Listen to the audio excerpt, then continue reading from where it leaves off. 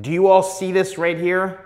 This, okay? This is why your hair is not flipping up. And please allow me to explain. When you take the hair, right, and, and look what I'm doing. As I drop this, section by section, watch what happens. Just keep your eye focused on this area right in through here, okay? Watch as I drop down the layers, right? Each section, you see what's happening. Each layer of hair, or each section of hair, is actually, you can even see it, it's going upwards. Now, why is it doing that? Simply because the hair is layered all the way up to here.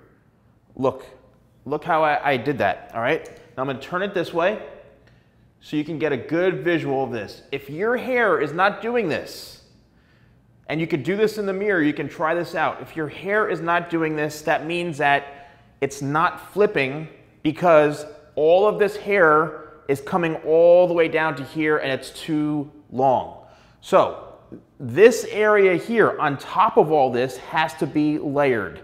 And how that's done is literally it's, and look, if you want to try this, you can. Let me get a comb over here. I really, really don't suggest attempting to cut your own hair at home. However, the way this is done is if you are to take the hair like this, you could see how the hair, right, will follow along the head shape. So you would cut it like this because the hair grows straight out from the head. It doesn't, it, it's, it's basically like it's coming forward this way. So what you're trying to do is it's growing straight out from the head and you need to cut it in a way that it's how it's growing. All right, and if you follow the head shape, you'll be able to see that all of this is layered purely on how it's growing out from the head, which is straight out. Not straight up, but straight out. And this all the way down to the very, very front, it's all layered from here back, okay? Not the, not the very, very top, it's not supposed to be super short here, but this has to all be balanced and actually the same length, but then slightly longer as it goes towards the front because we need some length in through here.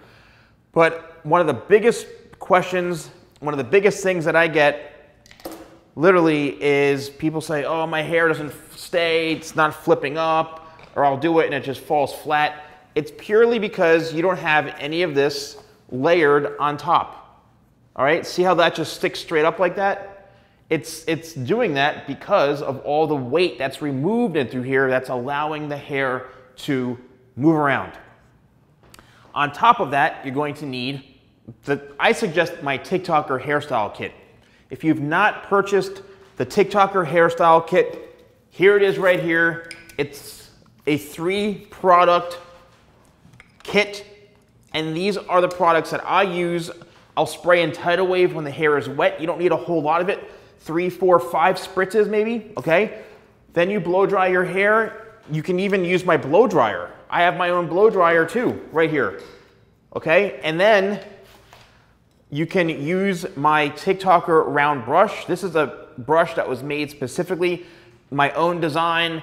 It's got the ceramic and ionic technology, so you're getting heat protection on this brush. Okay, there's heat protection on the brush.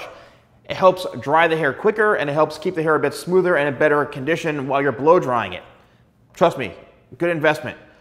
And lastly, I've got locked hairspray, which you spray in the hair to finish off the style. And that's it. If you are interested in purchasing these products, use code YouTube20 that's YouTube20 at shop.thesalonguy.com. Let me know if you found this video helpful.